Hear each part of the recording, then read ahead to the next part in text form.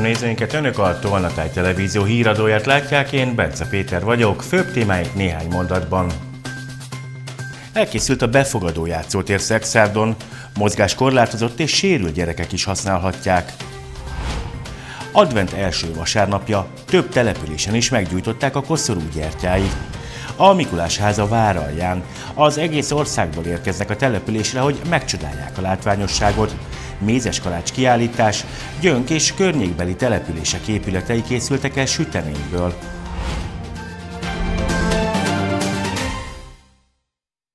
Elkészült a befogadó játszótér Szexárdon. A közösségi tér különlegességét az adja, hogy mozgáskorlátozott és sérült gyerekek is használhatják. A beruházásért a megyei jogú város önkormányzatának nem kellett pénzt fizetnie, a fejlesztés ugyanis egy felajánlásnak köszönhetően valósult meg. Ha a látássérültekre gondolunk, fontos például a játékok kontrasztos kialakítása.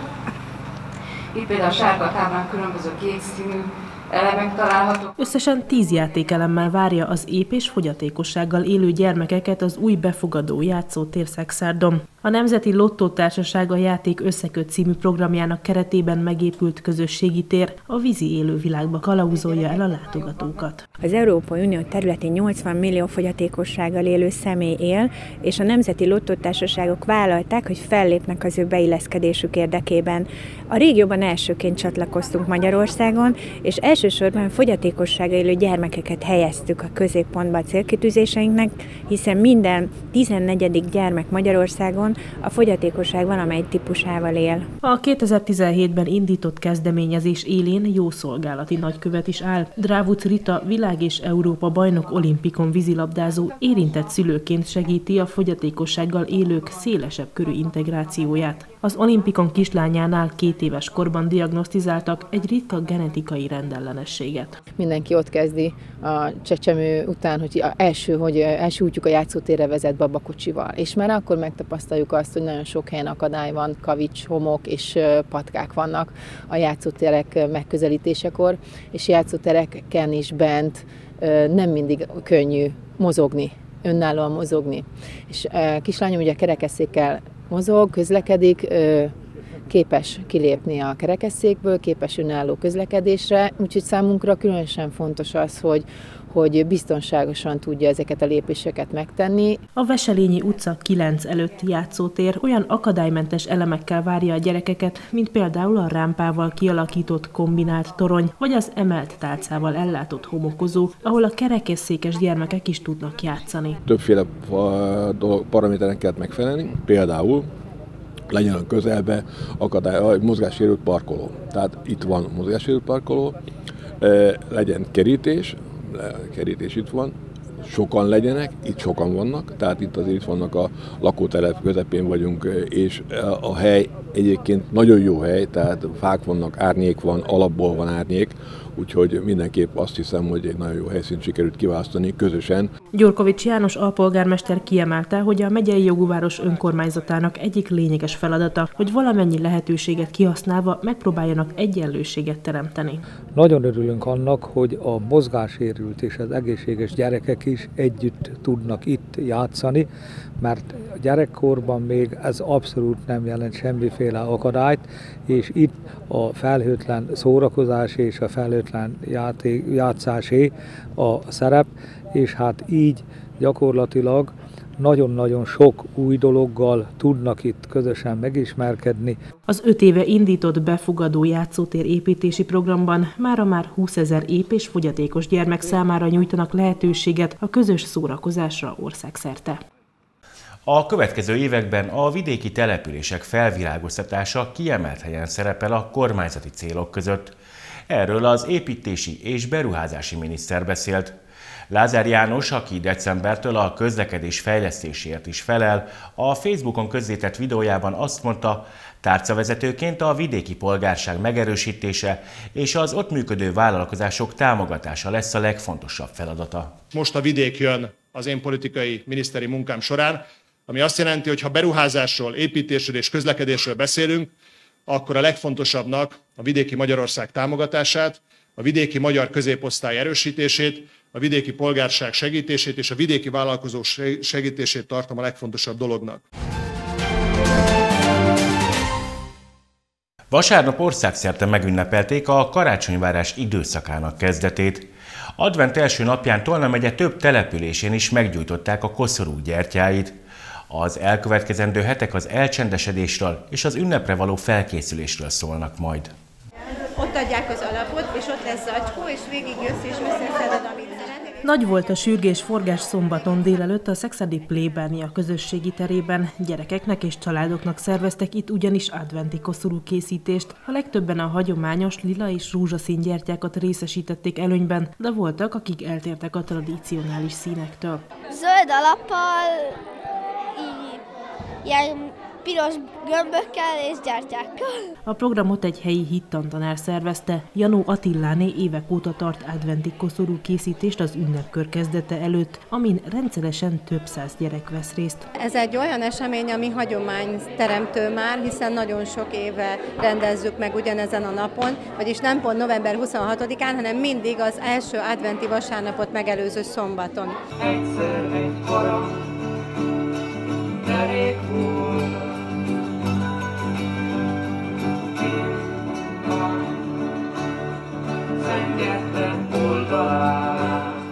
Este pedig a Szent István téren a Kadarka Venyigék Tambura zenekar karácsonyra hangoló koncertjét követően Vadászi Dániel metodista lelkész és Gyurkovics János alpolgármester közösen gyújtotta meg az adventi koszorú első gyertyáját. Most talán nem is a látványos ünneplésről van szó, hanem inkább a várakozás és a, lá, a lelki feltöltődés, és gyakorlatilag kevesebb fényel, de nagyobb odaadással ugyanúgy meg tudjuk élni az elkövetkezendő időszakot. Dombováron a művelődési ház előtti téren szintén ünnepi műsorral nyitották meg a karácsonyi várakozás időszakát. A város vezetői a mintegy két méter átmérőjű felfüggesztett adventi koszorú első gyertyáit közösen gyújtották meg. Ez az év a pandémia után meghozta energiaválságot, amely megszorításokkal járt. Mindezek ellenére november elején úgy döntöttünk, hogy mégiscsak megpróbálunk valami karácsonyi hangulatot teremteni, és örömteli számomra, hogy ma ennyi emberrel együtt gyújtottuk meg az első gyertyát.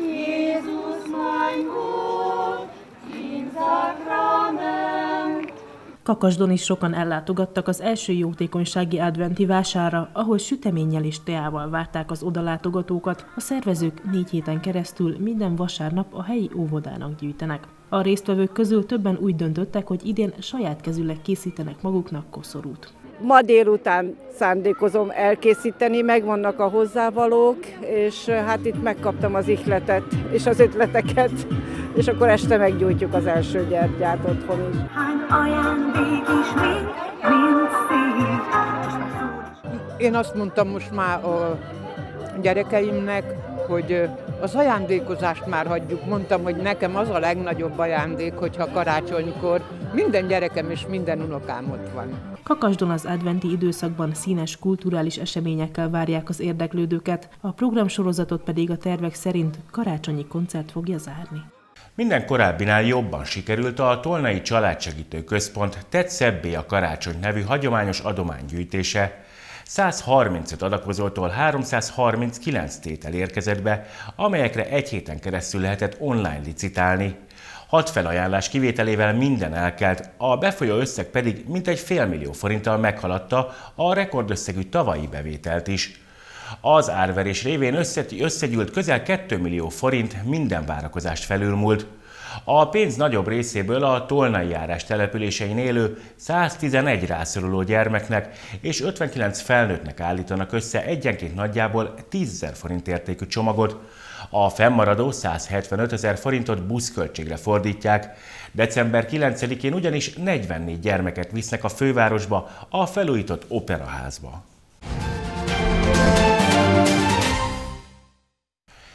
Egyedülálló ünnepi díszkivilágítást alakítottak ki egy várajai lakóingatlanon és az udvarán.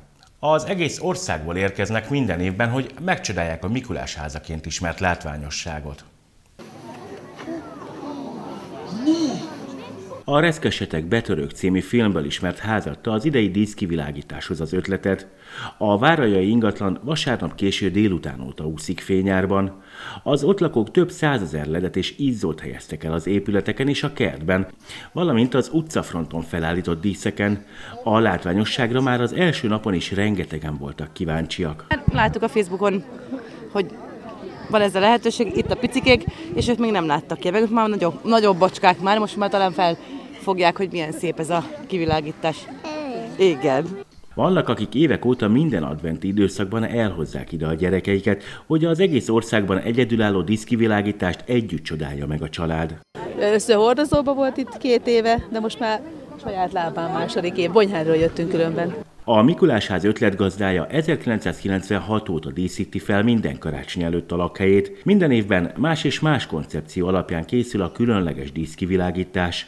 Idén az udvarban egy Mikulás szobát is kialakítottak, és több ledes izzósort szereztek be, hogy spóroljanak a villanyszámlával, a látványosságért pedig senkitől sem kérnek pénzt. Láttam, hogy egyre többen jönnek és hogy mennyire boldogok, hogy mennyire mm, élménnyel teli mennek haza, és akkor hát ugye ez inspirált, és akkor még többet, még többet, akkor már a, a mesékkel, tehát az a lényeg, hogy nem szerettem a, azt, hogyha mondjuk veszünk egy szarvast, egy hóembert, egy akármit, hogy az minden évben ugyanaz. Én vettem inkább próbababákat, és abból minden évben más tudok csinálni. A Várajai Mikulásház január 6-áig látogatható, délután fél öt és este 8 óra között. Véget ért hétfőn a népszámlálási pót összeírás. Ezen azoknak kellett részt venniük, akik sem online, sem az őket otthonaikban felkereső biztosok segítségével nem töltötték ki a kérdőíveket. A népszámlálás több mint egy hónapos folyamata során mintegy 23 ezer biztos Országszerte 5 millió címet, ezen belül 4,6 millió lakcímet, illetve további mintegy 400 ezer egyéb címet, például nyaralót, üres telket, valamint különféle intézményt ellenőrzött. A kérdésekre több mint 9,2 millióan válaszoltak. Édes Gyönk névvel nyitott meg az a mézeskalács kiállítás, amelynek már egy évtizedes hagyománya van a Tolna megyei településen. Évről évre a Gyönki Német Nemzetiségi Egyesület szervezi a tárlatot. A kiállítás keretein belül nem csak a település jellegzetes épületei elevenednek meg Mézeskalácsból, hanem a környékbeli falvak is lehetőséget kapnak. A gyönki óvodások is részesei voltak az Édes Gyönk elnevezésű mézeskalács kiállítás megnyitójának. A helyi Német Nemzetiségi Egyesület tizedik alkalommal szervezte meg a település és a környékbeli falvak épületeit felsodakoztató tárlatot. A miniatűr épületeket a helyiek készítették el mézes kalácsból. Az Egyesület 60 kg mézes tésztát használt fel, ami csak az Egyesület tagjai, amit megsütöttek, de hát ez közel se az a kiállítás összese, mert nagyon sok vidékről érkező mézes kalácsház, a faluból, településről érkező családok, amit sütöttek, hát ez mind plusz természetesen. A kiállítást a Magyarországi Németek Országos Önkormányzatának elnöke nyitotta meg, aki hangsúlyozta már majdnem minden németajkú település talált magának olyan sajátos rendezvényt, amelyel élénkíthetik a település közösségi életét. Nem is találkoztam még, hogy egy Mézes Kalács Fesztivál ebben a nagy formátumban bárhol lenne ennyi résztvevővel, ilyen gyönyörű kiállítási darabokkal, és azzal, hogy tulajdonképpen kicsik-nagyok, mindenki együttműködik ennek a kiállításnak az elkészítésében. A Gyönki Mézes Kalács kiállítás december 9-ig minden nap délután 2 és 5 óra között látogatható a Német Közösségi Házban, egyéb esetben bejelentkezés szükséges. Tenyérméretű elektromos segélyhívó készülékeket igényelhetnek a dombovári idősek. A berendezés segítségével napi 24 órában tudhatják magukat biztonságban az érintettek. Igény esetén ugyanis perceken belül megérkezik hozzájuk az ellátásukhoz szükséges szakember. A gépet napi 170 forintos bérleti áron biztosítja a helyi egyesített humán szolgáltató, de a díjra rászorultsági alapon kedvezmény is igényelhető.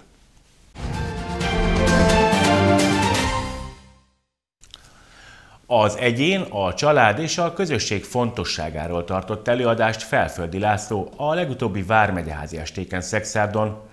A már közel 7 éve működő programsorozaton a Pécsi megyés püspök hangsúlyozta, hogy a kiegyensúlyozott élet elengedhetetlen alkotója a sok beszélgetés. Az emberi méltóság és az emberi közösség szétválaszthatatlan. Felföldi László a Pécsi Egyházmegye püspöke tartott előadást legutóbb a Vármegyeházi esték keretein belül. Ezt a rendezvénysorozatot a Tolna megyei kormányhivatal indította el még 2016 márciusában, és közel 7 év alatt csak nem 40 különböző előadást tudtak megszervezni. Fontosnak tartjuk, hogy mindenféle kulturális és zenei területről, illetve különböző területekről hívjuk meg előadókat, hogy minél színesebbek legyenek ezek a programok itt a Vármegyeházán, és Püspök úrnak az előadását most az advent előadásához az advent közelette adta az apropót. Szeretnénk rávilágítani ebben az idő, időben a közösség fontosságára, a közösség erejére, szerepére az egyén életében. Az előadásra sokan kíváncsiak voltak, meg is telt a Vármegyeháza díszterme. A megyés püspök az egyik legaktuálisabb kérdésről beszélt. Azt mondta, a jövő az emberi méltóságon és a közösségekben való létezésen múlik. Bár nagyon összetett egy-egy emberi sors, mégis vannak olyan dolgok, amit mindenkinek szem előtt kellene tartania. Hitvesek kapcsolatán nyugszik egy család titka. A kapcsolaton. A gyermek szeretet élménye és a szülők egymás iránti szeretete neki az a biztonság, az az erő. Tehát erre kell figyelni. És a másik a közösség. Az élet keresztje, az élet küzdelme elviselhetetlen egyedül. Elviselhetetlen szűk közösségben minél nagyobb közösséghez tartozom, látom ennek a valóságát is, ahol nagyobb családi közösségek, nagyobb családok igazán összetartanak, rendszeres kapcsolatban vannak, stabilabbak a házasságok, boldogabbak a családok, és derűsebbek a hétköznapok. Kiemelte azt is, hogy a beszélgetés az egyik legfontosabb eszköz. A püspök elmondta, nagyon nehéz tanácsot adni, hiszen minden ember különböző, de azt kívánja, hogy mindenki találja meg az adventi készülődésben saját életének, kapcsolatainak a biztonságát és az örömét. Hiszen ettől fog az ünnep valóban kiemelkedni a hétköznapokból, és megmutatja majd az élet értékét, gazdagságát. Regionális híreink következnek. Megoldódott a több éves probléma, felújították a csapadékvízelvezető rendszert több baranyai településen, egy pap Detroitból különleges missziót teljesít John Atya Kaposváron. Pécsre költözött a Mikulás, megmutatják a szobáját a Márkus Színházban.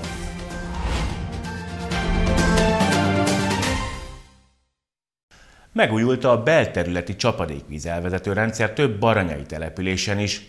Ezúttal Köblény és Somberek lakosai ünnepelhettek, ahol 100, illetve 150 millió forintból modernizálták a rendszereket. Köblényben emellett a Magyar Falu programnak köszönhetően is valósultak meg beruházások. Megoldódott a belterületi vízrendezés több éves problémája Köblényben és Sombereken is. A baranyai településeken egy-egy top köszönhetően valósultak meg a beruházások. A csapadékvíz elvezető rendszer újulhatott meg. Ehhez hasonló fejlesztések egyébként az egész megyében zajlottak az elmúlt években. Baranya szerte 51 helyszínen valósultak meg a Köblényihez és a Somberekihez hasonló csapadékvíz elvezetés javítását célú, célzó beruházások több mint 6 milliárd forintból, és nem állunk meg, hiszen a most induló fejlesztési időszakban is egy két milliárdos induló kerettel biztosítjuk azt, hogy ez a program ez folytatódjon. Itt Köblényben több mint 100 millió forintból, Sombereken 150 millió forintból sikerült. Tulajdonképpen azt lehet mondani, hogy a település igényeit kiszolgáló modern és az extrém időjárásnak is sokkal inkább ellenálló csapadékvízelvezető rendszert kiépíteni. Köblény emellett más területen is fejlődött. A település egy falubusszal gazdagodott, melyet az önkormányzat több mint 15 millió forint értékben vásárolhatott meg.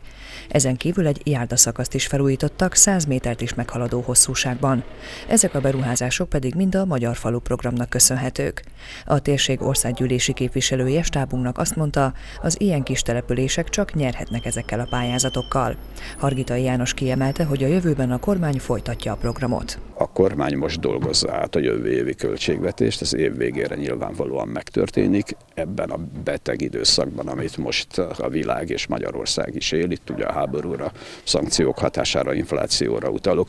Nyilvánvalóan 23-ban nem várható olyan léptékű fejlesztés, mint amit eddig a települések megszoktak, de én már azt eredménynek tekintem, hogy a Magyar Falu programot nem kellett leállítanunk, folytatni akarjuk, és azt gondolom, hogy 24 már egy olyan év lesz, amikor Európai Uniós források és magyar költségvetési források is nagyságrendekkel nagyobb számban állnak majd rendelkezésre. A miniszterelnökség egyébként csak idén 14 pályázati kiírást tett közzé a Magyar Falu programban, melynek kedvezményezettjei az 5000 lélekszám alatti települések önkormányzatai, az önkormányzati társulások, az egyházközségek és a civil szervezetek voltak. Az idei évtől egy Amerikából érkezett pap szolgál a Kaposvári Nagyboldogasszony székesegyházban. A Detroitból származó John atya szerzetesként kezdte meg missziós munkáját, majd világi plébános lett. Szükség van egy helyre, ahol tudok a fiatalokkal foglalkozni. Kikötő. Így nevezték el azt a közösségi teret, amit János atya a plébánia tetőterében kialakított. Van itt csocsó, biliárd és még játékkonzolok is. A lényeg, hogy a játékok közben hitéleti kérdésekről is szó essen. A püspök a óriási irgalma és segítő képesség, de különösen az a, mint missziós, kicsit más a gondolkodásom, és azt mondta nekem, ifjúsági evangelizáció, hogy uh, tudjuk egy, hogyan lehet szó, megszólítani a fiatalokat, hogyan tudnak uh, érezni otthon a templomban és a templomon kívül, hogyan lehet a hitet élni. János atya az amerikai Detroitból érkezett Kaposvára. Azt mondja, hat éves kora óta az volt a vágya, hogy Kelet-Európában hirdesse Isten igéjét. Mindig akartam missziós lenni, segíteni embereken. Különösen a, hát Kelet-Európában. Reményeim szerint akkor egyszer fogok becsempészni bibliákat, és majd a kommunisták fogni fog, elfognak, és majd lelőnek, és majd vértanú leszek. Szóval az volt a, a nagy reményem, majd a családomban volt egy pár ateista rokonom, és mindig volt az a kérdésem, hogy akkor kinek igaza van, és ha igaza van, akkor hogyan tudok ezt vonzó és értelmes módon kommunikálni. Ez az élet rögászmem. Az amerikai atya a vasárnapi reggeli diákmiséket celebrálja. Azonban hétközben a felnőttekkel is szívesen beszélget a szentségekről vagy a keresztségről.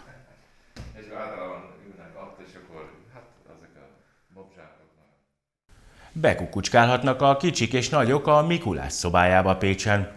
A látogatókat még körbe is vezeti a segédje. Amikor, amikor Mikulás dolgozik éppen, akkor várják a gyerekeket és vezetik körbe a lakhelyén. A Márkus Színház idén már 9. alkalommal fogadja a csoportokat e célból. Levelek az asztalon, száradó zoknik a kötélen, kiszállításra váró játékok. Ez a Mikulás szobája a Pécsi Márkus Színházban. Idén is várják ide a gyerekeket.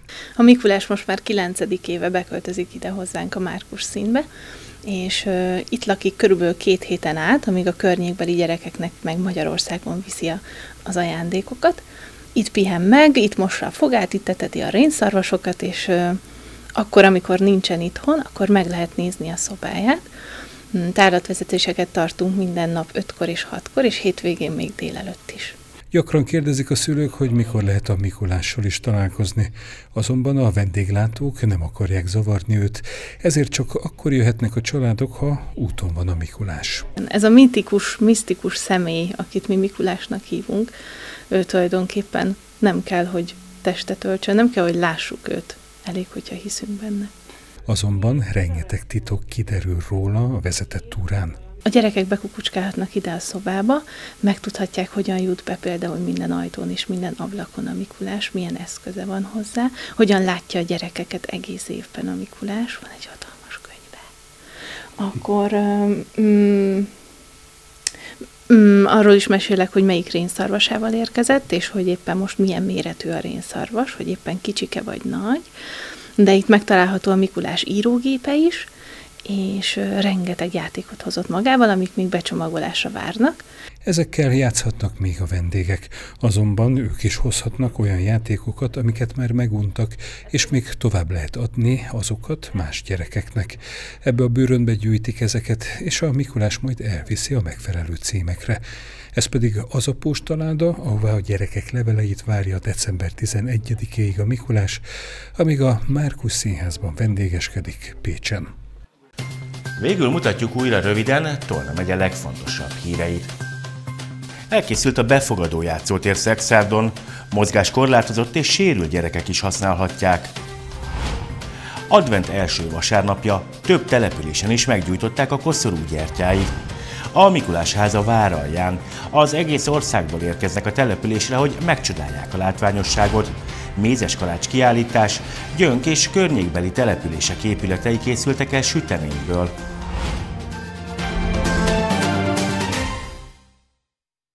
Kedden is az eddigiekhez hasonlóan alakul időjárásunk, sokfelé borongos, néhol tartósan ködös idő lesz, legfeljebb csak kötszitálás fordulhat elő. Friss hírekkel legközelebb kedden este jelentkezünk. Addig is kövessék műsorainkat, illetve keressenek minket a Facebookon, ahol naponta friss hírekkel, érdekességekkel várjuk Önöket. Ha látnak valamit, ami Önök szerint figyelemreméltó, akkor azt osszák meg velünk, hogy másoknak is megmutathassuk. Mára köszönöm figyelmüket, viszontlátásra!